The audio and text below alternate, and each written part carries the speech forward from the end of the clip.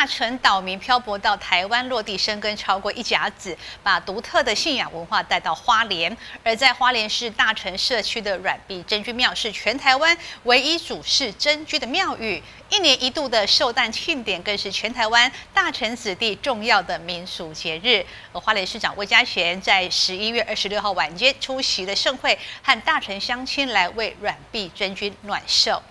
大成文化节十一月二十六号登场，下午是由大成排艺比赛为活动来热身，而软壁真菌祭典则是在晚间六点展开。市长魏家贤表示，为了传承大成技艺和历史，今年特别安排了大成排教学体验和竞赛，让民众来体验大成的文化魅力。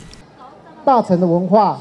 真的是非常特殊，也非常有趣。在前几年，我们做大成的美食，到今年。我们也有大成的花牌来课程来安安排给大家，大家可以知道，大成的花牌看起来好像跟麻将一样，但是却跟麻将完全不一样，必须要动脑动智慧。所以我们在当我们文官所在办理这样的课程的时候，吸引到桃园的大成子弟、各地的大成子弟来这边上课学习，这是一件很不容易的事情。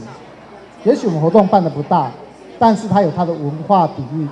那我们希望未来大城的文化、大城乡亲能够将花牌传承下去。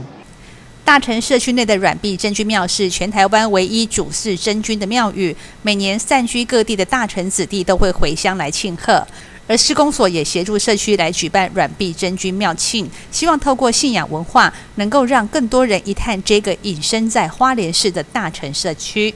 活动现场有各式精彩表演，还有传统大城美食品尝，大家排队领取美食，聚在一起用餐聊天，就像是过年团圆一样，场面相当热闹。记者会欢视报道。